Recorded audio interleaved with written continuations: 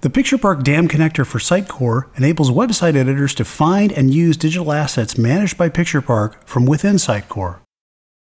Website editors connect to Sitecore using the accounts they already have. The PicturePark DAM connector handles the connection between Sitecore and PicturePark, so no additional logins are required. If the connecting user doesn't have a PicturePark account, one can be created on the fly. PicturePark assets can be placed directly on website pages, or they can be brought into the Sitecore Media Library. PicturePark asset collections can be dynamic or static.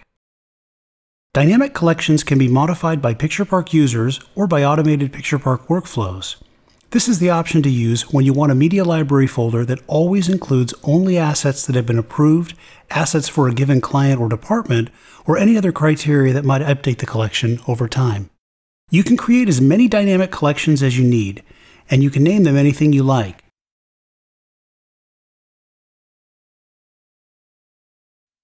You can also choose the type of formats you'd like to use in Sitecore. PicturePark handles the format conversions automatically, so Sitecore editors don't have to worry about using the wrong format. Each dynamic collection in the media library is connected to one location in PicturePark. This is where permitted PicturePark users can update the collection. When assets are added to a PicturePark location that's connected to a dynamic collection in Sitecore, they become available to Sitecore editors. Assets removed from dynamic collections are no longer available to Sitecore editors. But if they've already been used on your website, they will remain in place. Static collections contain specific digital assets that you've selected from PicturePark. When adding files, you use the PicturePark interface, which offers a number of tools to make finding files easy.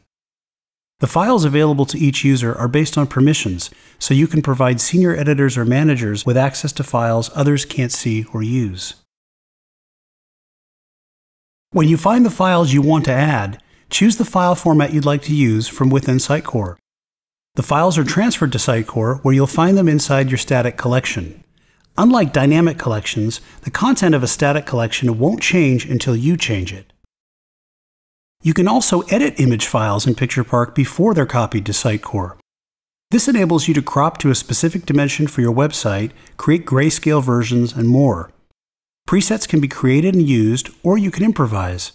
You won't affect the original file in PicturePark, so you can experiment and have some fun. Digital assets come from PicturePark complete with metadata that Sitecore users can see and use for descriptions, copyrights, or even just usage directives and guidance. Using the adaptive metadata feature in PicturePark, you can make sure that assets copied to Sitecore always contain all metadata values website editors need. You can choose which PicturePark metadata fields should be automatically mapped to the HTML alt tag so your images remain accessible to everyone and your SEO is enhanced. PicturePark tracks which assets have been copied to Sitecore. From inside PicturePark, you can see when an asset was copied over and by whom. This live link between the two systems also means that assets copied to Sitecore can be refreshed automatically or manually at any time. Placing assets onto websites is easy. You can choose files from the Sitecore Media Library, as you do now, or you can pull new assets directly from PicturePark. This is handy when you're editing a Sitecore page and you need an asset that isn't already in one of your Sitecore Media Library collections.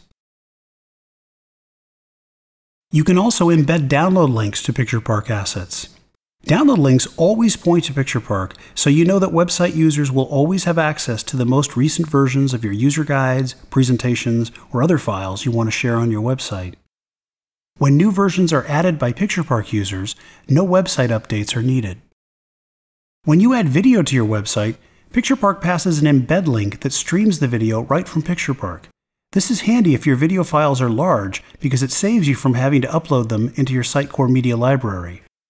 This also enables PicturePark users to see exactly how many times a video was viewed. Like Sitecore, PicturePark supports multiple languages, so adding localized content in other languages is easy. Switch to the language you need and place an asset just like before. Only this time, select the language version you need for the page.